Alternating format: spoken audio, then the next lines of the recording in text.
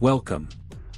In this video we will talk about code P0529, its symptoms, causes and possible solutions. The P0529 trouble code indicates an intermittent issue with the fan speed sensor circuit.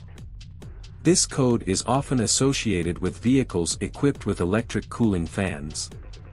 The fan speed sensor circuit monitors the speed of the cooling fan and sends this information to the engine control module, ECM. When the ECM detects that the signal from the fan speed sensor circuit is intermittent or unreliable, it triggers the P0529 code. Code symptoms P0529 1. Intermittent operation of the electric cooling fan. 2. Engine overheating, especially during periods when the fan is not operating correctly. 3. Illumination of the check engine light, CEL, on the dashboard. 4. Lack of cooling fan operation when needed, potentially leading to engine overheating. Causes of the code P0529 1. Loose or corroded wiring or connectors in the fan speed sensor circuit. 2 faulty fan speed sensor. 3. Intermittent electrical connection issues in the circuit. 4. Damaged or worn out components in the fan speed sensor circuit. 5. Faulty electric cooling fan. 6. Issues with the engine control module ECM, although this is less common.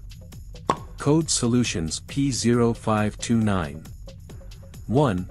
Perform a visual inspection of the electric cooling fan, wiring, connectors, and fan speed sensor. Look for any signs of damage, corrosion, loose connections, or worn-out components. 2. Test the fan speed sensor using a multimeter to ensure it is sending a consistent signal. Replace the sensor if necessary. 3. Check the wiring and connectors in the fan speed sensor circuit for loose connections, corrosion, or damage. Repair or replace damaged components as needed. 4. Test the electric cooling fan to ensure they are operating correctly. Replace faulty fans if necessary.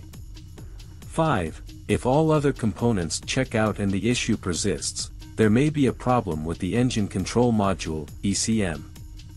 Consult a qualified mechanic for further diagnosis and repair. 6.